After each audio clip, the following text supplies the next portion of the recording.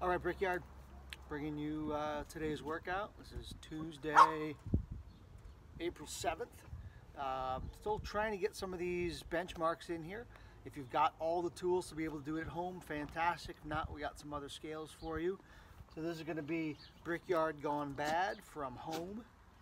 Uh, what we're looking for here is five rounds for reps. The main goal is that you've got continuous work for the entire almost 30 minutes of this workout normally starts off with a minute of wall balls. So if you have a medicine ball and a spot to throw it to, fantastic, go for it.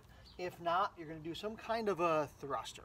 A goblet thruster, whether you've got a dumbbell or a kettlebell. If you've got a medicine ball, you can do a thruster with that. Any kind of heavy object. You got a minute as many as you can. You should be working for most of that minute. Next, you've got a minute of power cleans, and that's going to be a power clean from the ground. If you've got a barbell, let's do it. Nice lightweight. Typically, RX is 75, 55, I believe. Um, but if you only have one object, just keep moving. That's really kind of the object of this, of this whole workout. After that, we got a minute of box jumps, jump on something. Uh, you can do tuck jumps also. We got a minute of push press. If you got a barbell, great. If not, you can do some one-arm stuff. Uh, each each rep is going to count though. So if you've got a one-armed dumbbell, it'll be one, two. You can switch, three, four. Just keep steady working.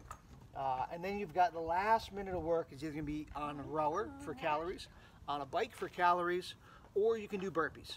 Um, kind of rep-wise, it'll work out pretty well. And then you get a minute of rest. So we're looking at one, two, three, four, five minutes of work, one minute of rest, and we got five rounds of that. Just kind of keep a running tally of what you're doing, right? You get through those thrusters or wall balls, maybe on number 15. Your first power clean should be 16, 17, 18. Just kind of keep it counting. Mark it down during that minute rest. All right, guys, next we got our warm up. I'll roll through first and I'll show you everything. Get your heart rate up first, whether it's chase around a puppy. The puppy. Ooh, the fish of the puppy. Uh, some jumping jacks, a quick little run if you got a rower or a bike. Just get your heart rate up first. Going to a calf ankle stretch next. That's going to be a minute on each leg. So go back and forth in that bent leg, straight leg. 10 slow inchworms. Five five second squat holds. And then something for shoulder and overhead. All right, so after you get your uh, heart rate up, calf ankle stretch. We can go up against anything. We usually do on a rig. Why? Straight leg, bent leg. All right, hang out for about a minute. Go back and forth as you need. Minute each leg there. Next, we're going into 10 slow. Oh, sorry, if you don't have something like this, right, you can do it right on the ground. Straight leg, bent leg.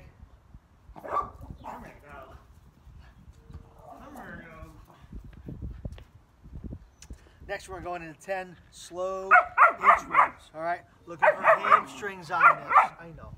Relax.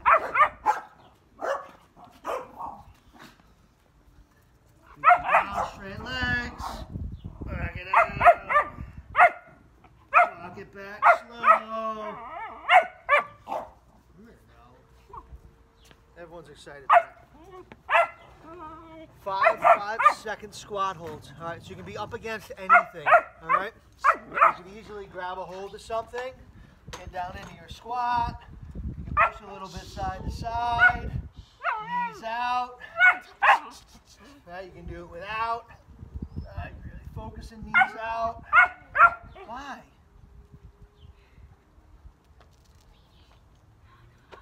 At least five of those, five seconds each one.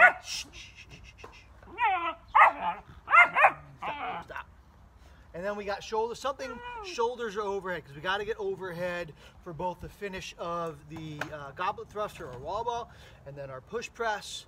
All right, so some options could be, all right, we're trying to get behind the head and across your body. You grab a hold of something overhead. Pulling. All right, lots of different options here, guys. Just get something where you're overhead. All right, guys, if there's any extra stretches you need, go for it. You know your body. Get all your stretches in. All right, guys, talking about movements here. Got Rachel here to help me. I've got some dogs here. They'll help or maybe not help so much. We'll figure that out as we go. Uh, first movement we've got is we've got to do what would be a wall ball, but we're going to do some kind of a goblet type thruster. So Rachel's going to use her dumbbell she's got here. She's going to take that dumbbell up by her, just above her chest, in her squat stance. She's going to go down to a squat, going to go down to a squat, and drive and finish overhead. Show me two more. Squat, drive and finish overhead. One more time. Awesome. You can use just about anything, guys. Grab an object, grab a small furry pet if you want. Uh, ton of stuff you can use for any type. Again, lightweight is what we're looking for. Steady work. A lobster, stuffed lobster perhaps. Next one we've got is a power clean, right? So you can use a barbell. We're just going to show that first. You're going to grab that barbell like the bottom of her deadlift, just up by her shins. Easy inside. There it is. And drive up to her front rack position. Let's show two more. Closer together. Yes.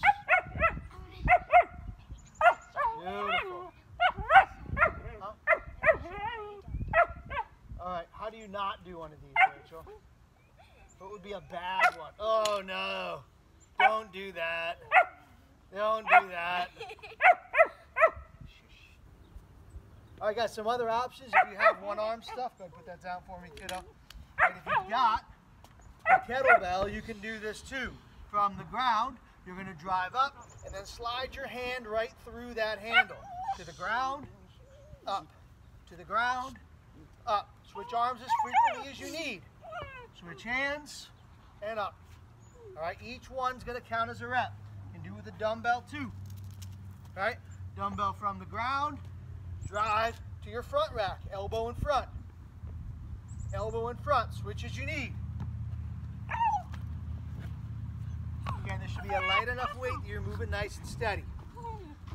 Third movement now we got is a box jump.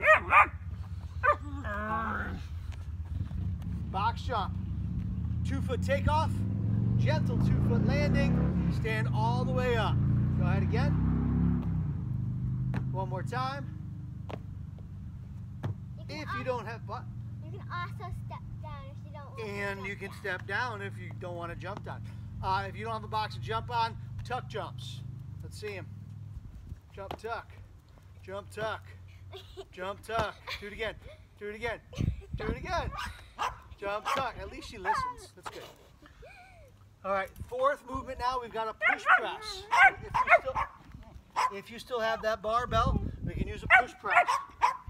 Back to the bar. Gonna take it up to her shoulders. And elbows up. And quick dip drive. Squeeze the belly as you get overhead. And again. One more time. We're gonna show we're gonna show some puppy push press. Puppy push press. Puppy push press.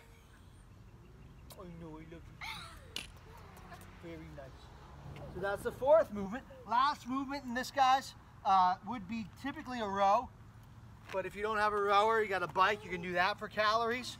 If you don't have any of that stuff, I know you can do burpees. So Rachel's gonna show us burpees now. Right here. Anywhere that's comfortable. I'm not gonna do it in the dog. So, so we came to find that the dogs were not helpful in this video. Not even a little bit. Back up on the mat for me. So I can see all of you. All the way to the ground. Jump and clap. It's a party. Wonderful. And then you got a minute rest, guys. You got five five rounds of that. It's a long one. It's almost 30 minutes. All right. Today's workout brought to you by the Matyschyk family and a couple of dogs. And Sarah's out there running around. All right, guys, get after it. Ready? Three, two, one. Do it.